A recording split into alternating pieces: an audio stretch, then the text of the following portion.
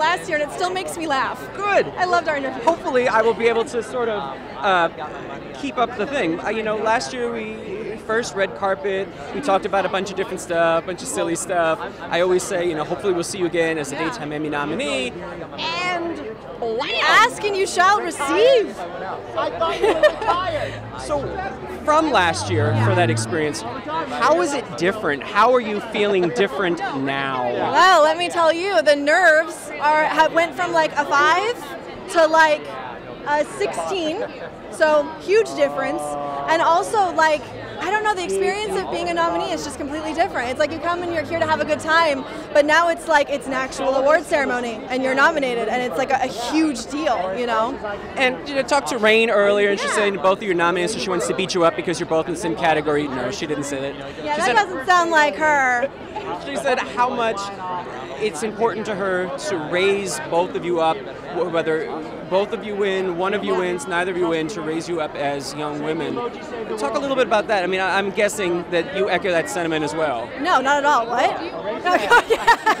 of course I do. It's actually really, I'm glad that she said that because, you know, I really believe that in this industry, women have to compete with themselves, you know, like with each other.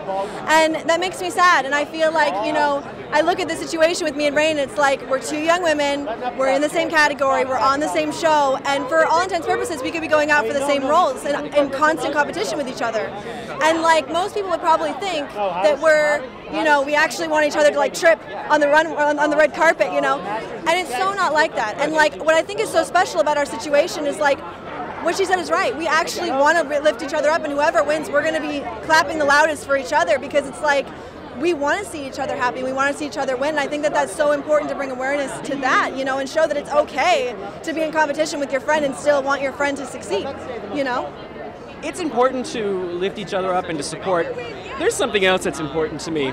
I love a good soap opera character that may develop some issues, problems, goes off the tracks a little bit.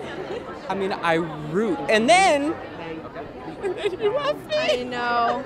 I know. I'm sorry. I'm sorry. I was so sad. I'm sorry. It is sad. It's devastating. But it was such good television. It was.